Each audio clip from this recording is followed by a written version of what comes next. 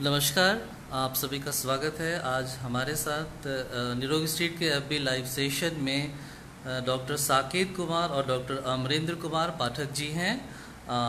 Doctor Saket ayurvedic medical officer हैं रांची झारखंड और doctor Amarendra ji, वो भी ayurvedic officer, medical officer Ranchi Jharkhand से हैं। सर, आप दोनों लोगों का बहुत बहुत स्वागत है। धन्यवाद। आ, आ, हम आज आपसे कुछ बातचीत करना चाहेंगे आयुर्वेद को लेकर और झारखंड में आयुर्वेद के मौजूदा हालात को लेकर और आप चूँकि झारखंड सरकार के नुमाइंदे हैं और काम कर रहे हैं आयुर्वेद को लेकर तो हम जानना चाहेंगे कि क्या स्थिति है झारखंड में आयुर्वेद को लेकर। झारखंड सरकार निश्चित रूप से आयुर्वेद पे काफ़ी ध्यान दे रही है। पहले के बनस्पत सरकार का रुझान और सरकार अपने चिकित्सा पदाधिकारियों को, अपने अस्पताल को सही प्रकार से पहले के बनस्पत काफ़ी विकास की ओर अग्रसर है और हम लोग जो सरकार से अपेक्षा करते हैं, उस पर समय समय पर सरकार उस पर ध्यान देती है। औषधि के मद में पहले से ज़्यादा मात्रा में अब आवंटन भी मिलता है। रोगियों को निश्चित रूप से, नियमित रूप से पहले से काफ़ी मात्रा में दवाइयाँ मिलती है। सरकार द्वारा निर्धारित की जाती है कि जो औषधि सरकार देती है वही रोगी को हम लोग आपूर्ति करें। इस प्रकार से देखा जाए तो और पब्लिक का भी रुझान अब आयुर्वेदिक की तरफ़ काफ़ी हुआ है और हमें काफ़ी पहले से अच्छा लगता है कि जब हम लोग यहाँ काम कर रहे हैं। आ, बहुत बहुत अच्छी बात है। डॉक्टर साकिर अभी हमने न्यूज़पेपर में खबर पढ़ी कि झारखंड में स्वास्थ्य के दृष्टिकोण से काफ़ी मतलब परिवर्तन आया है बदलाव हुआ है और वो बिहार वगैरह जहाँ उसमें गिरावट दर्ज हुई है वहीं झारखंड में स्वास्थ्य के क्षेत्र में उल्लेखनीय प्रगति हुई है उसका रैंकिंग बढ़ा है। आपको क्या लगता है इसमें आयुर्वेद और आयुष जो विभाग है उसकी कितनी अहम भूमिका रही है? देखिए आयुर्वेद की भूमिका काफ़ी बढ़ी है यहाँ भी लोग का रुझान बढ़ा है। जी। पहले की अपेक्षा लोगों में ऐसा बदलाव आया कि हम आयुर्वेद से जुड़े, आयुर्वेदिक दवा से का सेवन करें, आयुष को अपनाएँ, ताकि साइड इफ़ेक्ट से जो बचा जा सके। क्योंकि मेडिकल साइंस से ट्रीटमेंट लेने से लोग को साइड इफ़ेक्ट बहुत ज़्यादा हो रहा है। इसके लोगों को अब समझ में आ रही है बात। और हमारे यहाँ रिसर्च की कमी है अभी आयुर्वेद में। इस पर रिसर्च होना चाहिए।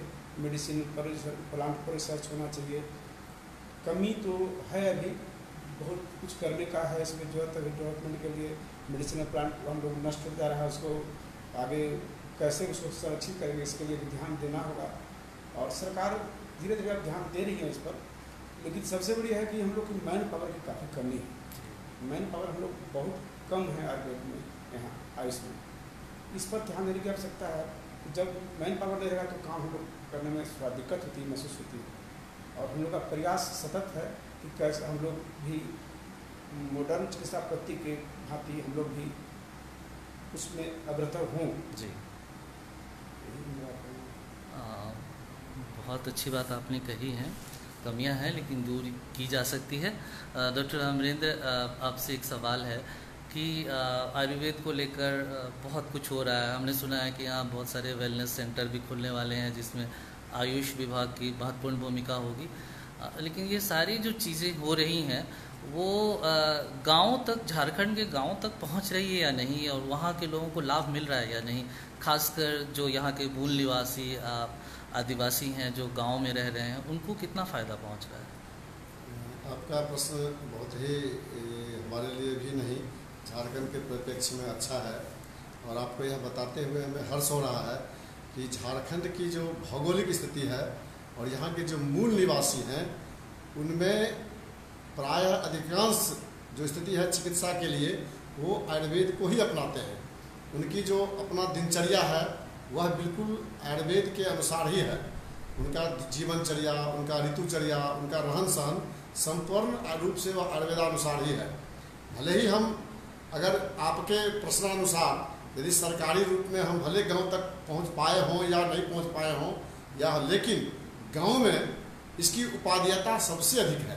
गाँव के लोग आयुर्वेद को अपने आप अपनाते हैं। यहाँ तक कि हाँ ये बात कमी ज़रूर है वहाँ जो कुशल और वैध चिकित्सक होना चाहिए या इंस्टीट्यूशनल जो चिकित्सक होना चाहिए वो नहीं अवेलेबल है लेकिन नन इंस्टीट्यूशनल जो चिकित्सक हैं जो पारंपरिक हैं वो बिल्कुल और बिल्कुल आयुर्वेद का ही ट्रीटमेंट कराते हाँ,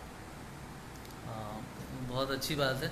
हमने सुना है झारखंड में झारखंड में पेड़ पौधे बहुत हैं और, लेकिन एक ये है कि जैसे उत्तराखंड बहुत आगे गया है आयुर्वेद में और वहाँ पे बहुत सारी कंपनियाँ भी हैं जो जड़ी बूटियों के माध्यम से आयुर्वेदिक दवाएँ बनाती हैं। लेकिन झारखंड में मेरे ख्याल से इसको लेकर एक बहुत कमी है। उस तरह के यूनिट्स नहीं हैं।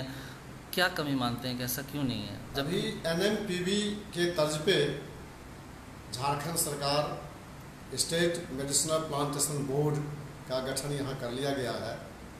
झारखंड स्टेट प्लांटेशन बोर्ड जो है, नेशनल मेडिसिनल प्लांटेशन बोर्ड के तर्ज पे। अब वहाँ पे गठन हो गया है। यहाँ लोगों को उसमें रजिस्ट्रेशन कराने के लिए प्रेरित भी किया जा रहा है। अब गांव-गांव में जो ग्रामीण क्षेत्र में सुदूर देहात में लोग हैं, उनसे भी आग्रह किया जा रहा है कि आप प्लांटेशन बोर्ड में अपना निबंधन करा करके आप औषधीय पौधा का खेती करें और फिर वो सरकार उसमें अपना एक अनुदान, निश्चित अनुदान जो भारत सरकार से दे, उसे उपलब्ध कराया जाएगा और उनसे भी मेडिसिनल प्लांट जो है उसका, उसकी खेती करवाई जाएगी। कल्टिवेशन होगा और काफ़ी मात्रा में जो वो ग्रामीण क्षेत्र में आयुर्वेदिक दवा का उपयोग करते हैं और आपने कहा ही है अभी इस बात को आप स्वयं मानते हैं कि झारखंड जो है औषधियों से भरा पड़ा हुआ है। पूरे प्रदेश में औषधि का सर्वाधिक, अन्य प्रांतों से अधिक यहाँ पर है। निश्चय ही आने वाला समय आयुर्वेद के लिए झारखंड में उज्जवल होगा ही, ऐसा हमें आशा है। और सरकार का भी ध्यान इस ओर आकृष्ट हो रहा है, वो ध्यान देगी। और हमें आशा ही नहीं, पूर्ण विश्वास है कि एक दिन पुनः संपूर्ण देश में झारखंड का नाम आयुर्वेद के चरण में अग्रगण्य रहेगा। अभी जो है प्रधानमंत्री मोदी रांची आए हुए थे। और उन्होंने यहाँ पे योग किया। इसमें आयुष विभाग की बहुत महत्वपूर्ण भूमिका रही इसको ऑर्गेनाइज करने में और खुद उसकी बहुत तारीफ़ हुई है। इसको आप लोग किस तरीके से लेते हैं? आयुष डिपार्टमेंट झारखंड राष्ट्रीय योगा दिवस को, अंतर्राष्ट्रीय योगा दिवस को तो प्रथम से ही तो पंचम था हमारा, प्रथम बार से ही मना रहे हैं, अच्छे ढंग से मनाया जा रहा है। परंतु यह हमारे लिए सौभाग्य की बात थी कि इस बार माननीय श्री प्रधानमंत्री, माननीय मोदी जी का यह कार्यक्रम हुआ। हम लोग जब से यह कार्यक्रम मिला तब से काफ़ी उत्साहित थे, आनंदित थे और ऐसा लगता था कि इससे बड़ा कार्यक्रम हमारे जीवन में आएगा नहीं। इस रूप से हम लोग सब तालिमता से लगे थे उसमें, जिसको जहाँ जो कार्य हो। मेरा तो खास करके व्यक्तिगत कुछ चिकित्सकों को इसमें लगाया गया था, उसमें से मैं भी एक था और मैं उसमें काफ़ी लगातार दस तारीख से लेकर के और पूरे बीस तारीख तक नियमित रूप से लगातार इस कार्य को करता रहा और काफ़ी आनंदित हुआ और हमें ही नहीं, हमें लगता है कि यह आयुर्वेद के लोगों के साथ साथ झारखंड के आम लोगों के लिए काफ़ी ये कृति कार्य हुआ है और काफ़ी उनके मान और सम्मान में काफ़ी प्रतिष्ठा पूर्ण ढंग से इस पर यह कार्य हुआ है और आने वाला समय ये काफ़ी यादगार रहेगा अक्षुण्ण बना रहेगा। अच्छा मेरा एक आखिरी सवाल है आप दोनों लोगों से। कि झारखंड में चीज़ें हो रही हैं और बहुत पॉजिटिव है और भविष्य उज्जवल है। लेकिन हमारे पास जैसा आप सब लोगों ने स्वीकार किया कि चुनौतियाँ हैं। ये चुनौतियाँ राज्य स्तर पर ही नहीं राष्ट्रीय स्तर पर भी है। झारखंड के दृष्टिकोण से आप किन चुनौतियों को सबसे ज़्यादा मानते हैं जो आयुर्वेद के लिए अभी आने वाली है? डॉक्टर साकेत इस पर सच बताएँगे। वैसे अगर आप हमसे व्यक्तिगत पूछना चाहेंगे जी।